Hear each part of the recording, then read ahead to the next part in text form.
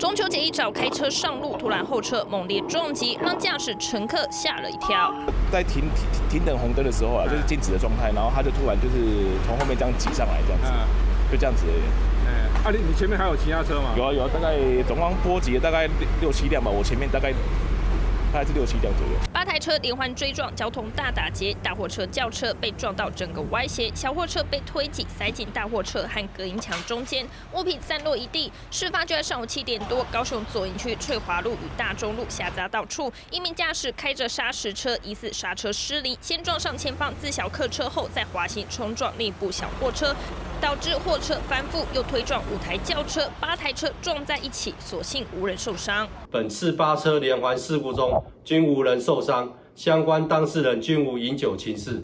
中秋节一早连环撞，场面吓人，还好没人伤亡。另外，在台南也发生连环撞事故，监视器拍下白色轿车准备在路口转弯，却突然高速失控冲撞车辆，沿路波及五辆汽车、三辆机车。救护人员紧急到场，四人受伤，其中一人脚部骨折，送医治疗。九车连环撞就发生在东区北门路上，汽车、机车全部撞成一团，保险杆被撞烂，机车倒地，驾驶声称自己为了闪机车才酿祸。